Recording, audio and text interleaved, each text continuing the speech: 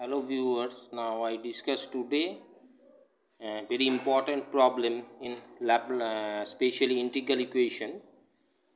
And it is the application laplace transform also. Let's watch this important problem. Using the method of laplace transform solve the integral equation.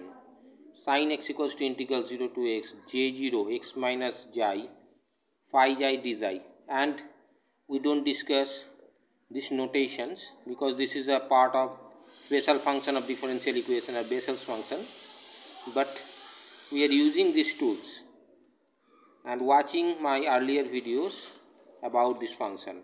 Now come to the solution part and for the part of solution now taking the Laplace transform on both sides of this equation sin x equals to integral 0 to x j0 x minus xi phi xi d xi and clearly taking the Laplace transform on this both side of this equation.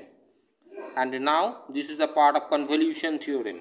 We don't discuss this convolution theorem here because this is the earlier part. So convolution theorem is nothing but this product and L of J0 xi phi is L of phi xi. That is L of phi x and L of J0x L of sin x. That is Laplace transform of this now using Laplace transform of sine x that is 1 by 1 plus h squared. If h is the transform parameter. And here L of J0 x. It is the standard formula. 1 by root over of 1 plus a square we discuss how will it come in my earlier videos. And L of phi x. And now we are taking L of phi x. And after converting this result root over of 1 plus a square by 1 plus a square we are getting root over of 1 plus a square. This is the transform parameter and taking it equation number 1. Now taking inverse Laplace transform on both sides of this equation.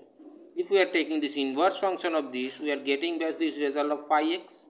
So phi x equals to L inverse of root over of 1 plus x 1 by root over of 1 plus a square plus 1 and certainly it will be j0 x.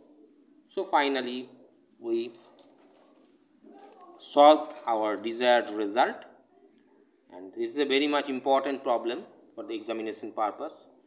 We end our uh, discussions here. If you like this video, like it, share it and always subscribe the channel. Thank you.